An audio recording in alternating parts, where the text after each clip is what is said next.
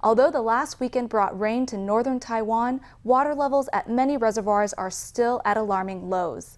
With no end to the drought in sight, administrators of Hsinchu Science Park say they want to dig wells in the park itself to supply factories. Speaking on the plan, Economics Minister Wang Meihua says an impact assessment will need to come first to, to determine whether wells would trigger land subsidence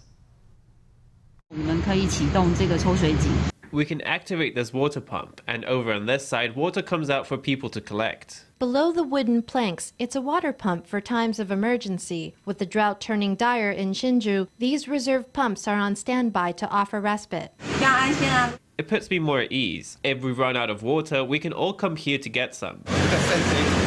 It's more convenient with a deep water well. Home to big factories and lots of residential users, the greater Hsinchu area has long struggled with water shortages. Long ago, it set up a host of wells for emergencies. Last year, due to the drought, the government did a survey of all reserve wells in the nation, counting about 1,250. Among them, 160 are already connected to the Taiwan Water Corporation supply system, providing 340,000 tons of water a day. But with no end to the drought in sight, Hsinchu says it's thinking of digging even more more wells to directly supply its plants. It's a plan that's raised concerns that the land on the park could cave in.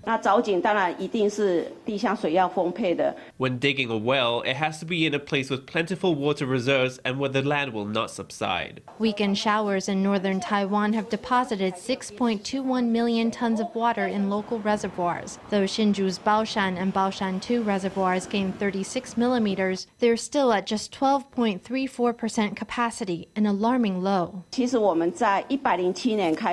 Actually, we have been feeling the effects of climate change since 2018. We have to be prepared, which is why the forward-looking infrastructure plan has 1.96 billion NT for emergency water wells. To keep the drought from slowing down production, the government is scrambling to develop more water sources. President Tsai Ing-wen took to social media with a message to the nation, asking everyone to do their part and conserve water. Also on social media, Central Weather Bureau head Zheng Mingdian warned that little rain is expected in central and southern Taiwan until plum rain season in May. He too urged the public to conserve.